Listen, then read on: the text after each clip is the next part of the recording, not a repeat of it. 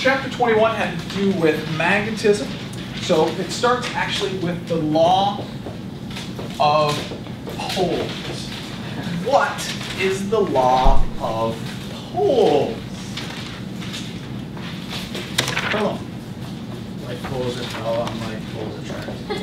Like poles, bless you. Wait, how do I get wrong? Like poles repel, unlike poles attract. Again, going back to the law of charges, it's very similar. When we talk about a pole in this particular case, Mitch, what are we referring to? The north and south pole. So we're trying to define a, uh, a magnetic field. What is the symbol we use for a magnetic field, Lily? We're defining a magnetic field.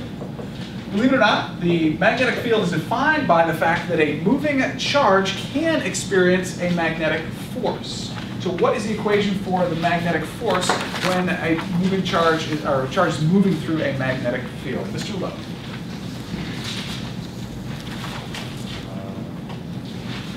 the charge times uh, velocity times the magnetic field times sine of theta. So we have the magnetic force equals the charge times velocity times magnetic field times the sine of theta. What is theta, the angle between in this equation? The velocity and the magnetic field. The two vectors, the velocity and the magnetic field. Great, we also have an equation for the magnetic force on a bunch of moving charges all moving together in a wire, which is called a current carrying wire. Therefore, what is the equation for the magnetic force on a current carrying wire? The sum.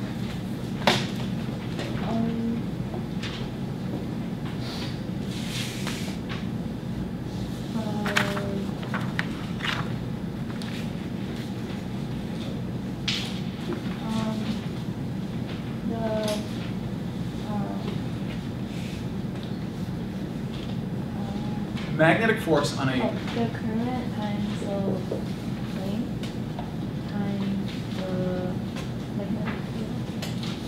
And then sine theta. It's a very similar equation, only instead of having velocity, we have current. Instead of having the, um, sorry, instead of having velocity, we have the length. Instead of having charge, we have the current. Uh, what are the dimensions for the magnetic field? Dimensions for the magnetic field, please. Teslas. What is a Tesla? Uh.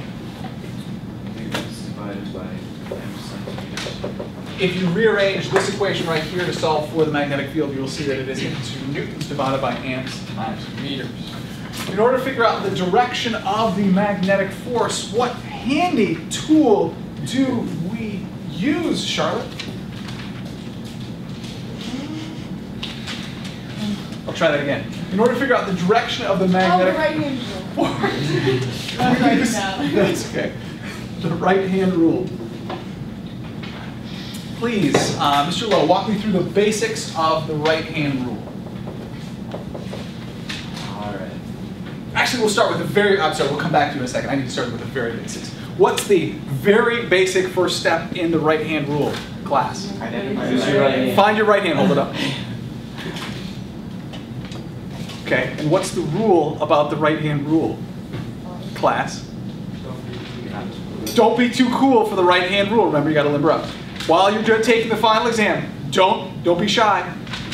Stretch in the middle of the final exam if you need to. It's okay. Everyone will understand. Oh, they're not too cool. That sounded wrong.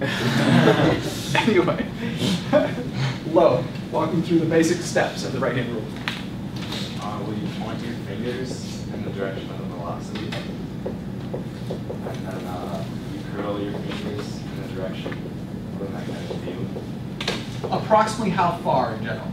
Uh, 90 degrees. Approximately 90 degrees, so it's about perpendicular. Uh, not always the case, but it's a good rule of thumb.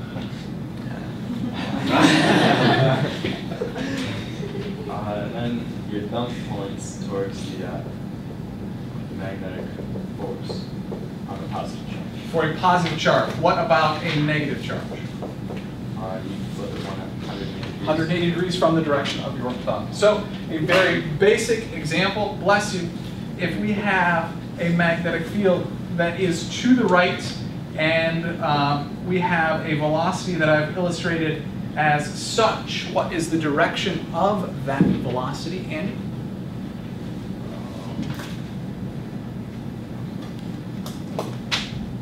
No, it's not a right and rule question yet. It's a, it's a symbolic question. As a, no, it's not. It's a question about symbols. It's not a symbolic question. But it, this is the direction of. This illustrates the direction of the velocity. It is not to the right. We, this illustrates the direction of the velocity right here, Sims. Into the board. Sims, how do you know this the velocity is into the board? The arrow. This is the feathers of the arrow that is going away from you. If it were a dot, it would be coming out of the board. So now, assuming this is a negative charge, class, please walk through and figure out the direction of the magnetic force on this charge.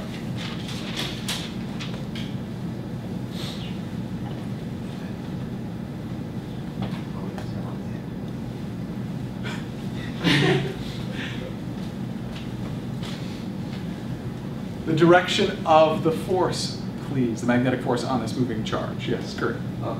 It is up. Walk me through it. How do you get that?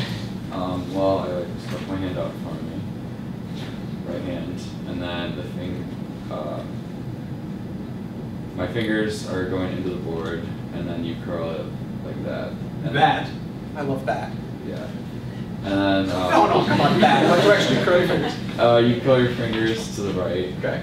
and then you get that the force of the magnetic field is down, but since it's a negative charge, you right. Your thumb points down, which would be the direction for the magnetic force on a positive charge. Because this is a negative charge, it is actually going to be a magnetic force, which is up in this particular case. Please describe the motion of this particle in this magnetic field. What's the path going to be like? Wicket. It's going to move in a circle. We actually don't know exactly whether it's going to leave the magnetic field or not, but it's at least going to move in some portion of a circle. So we would draw some of the forces in the in direction, which would be equal to the mag- magnetic force, which equals mass times the centrifugal acceleration, because it moves in a circle.